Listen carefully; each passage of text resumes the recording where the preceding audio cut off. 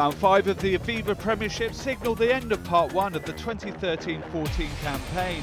And with thoughts turning to the first European break of the season, it was important for teams to end this section on a high.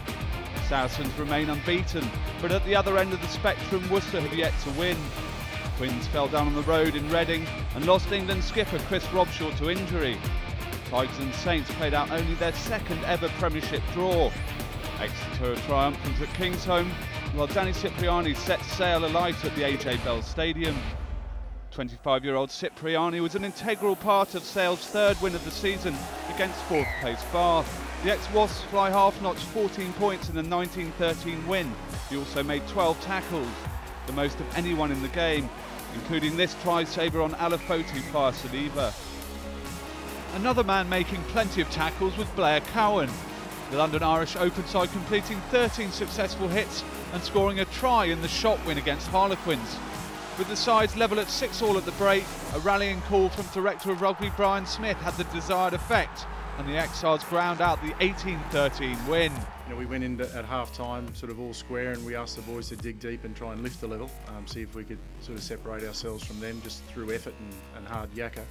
And uh, mate, the boys responded, you know, I'm delighted. Um, and Quins threw everything at us and, and, made it one hell of a tussle. But uh, you know, I thought we deserved the win. A short drive up the M4 and round the M25 to the plastic of Allianz Park. Saracens were expected to make mincemeat out of London Wasps, but with a raft of changes, it was not all plain sailing for Mark McCall's men. Sarries had a 3-0 lead at half-time and eventually came through 19-12, although two tries from visiting skipper Chris Bell and a conversion from Andy Goode on the final whistle gave Wasps yet another losing bonus point.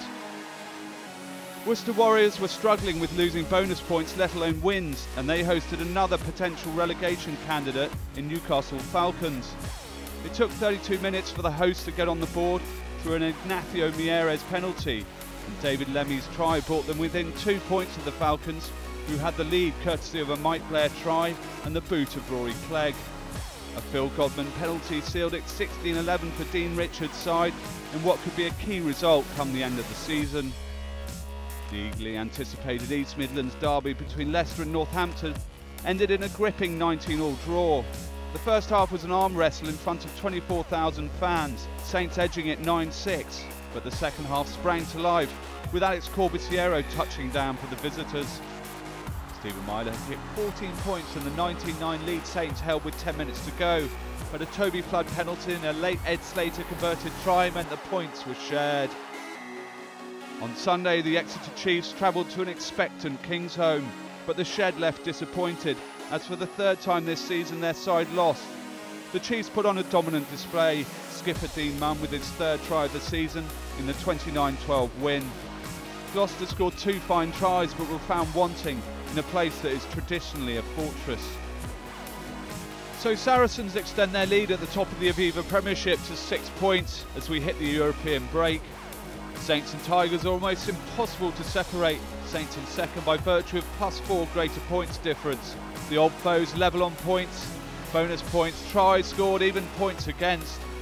Bath stay fourth while Sale and Exeter climb to fifth and sixth respectively.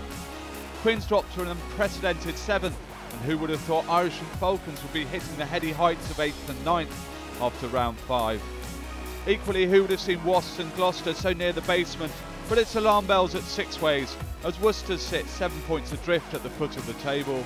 So the first five rounds have produced some incredible all-round rugby, tries and results. Notably of the 30 matches played, only 15 were won by the home side, compared to last season when 19 were won by home sides.